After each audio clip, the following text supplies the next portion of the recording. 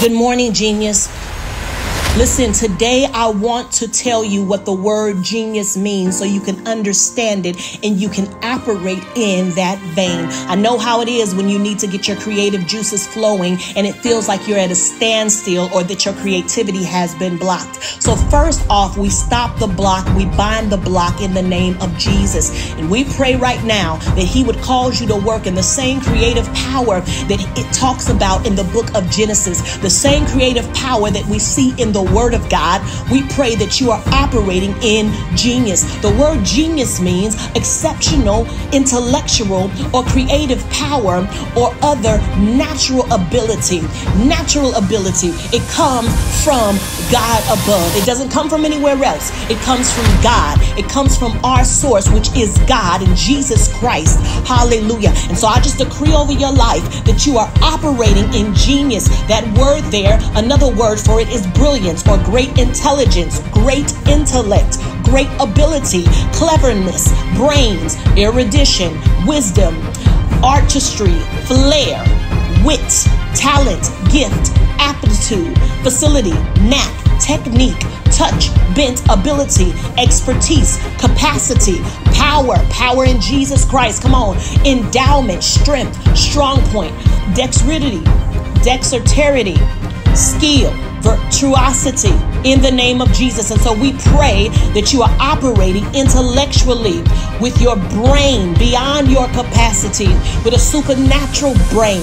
And some people may not understand it, but I pray that you're operating in a supernatural vein because you need the power of God to go forward into this. Scripture tells us, He says, See, I have called by name. We're in Exodus 31, 1 through 6.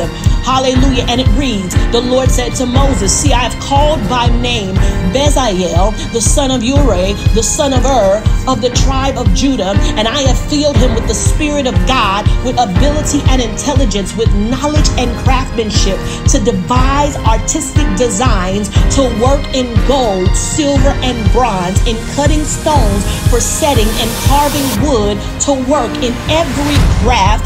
And behold, I have appointed him with Oholiab I have appointed him with Oholiab, and I have given to all able men the ability that they may make I commanded you. In other words, right there, he's talking about that he will put under him individuals who have the same type of heart. And so I pray that the Lord would give you the creative know how, the creative understanding, and then he will give you the individuals to partner with you.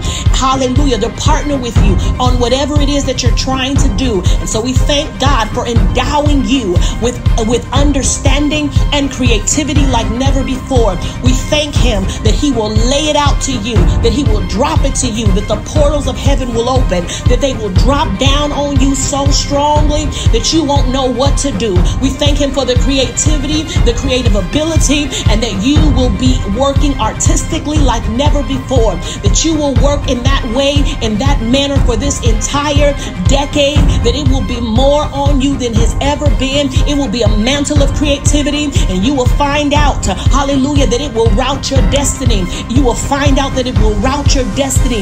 In Jesus' name, we speak it, we call it to be so. Amen and amen.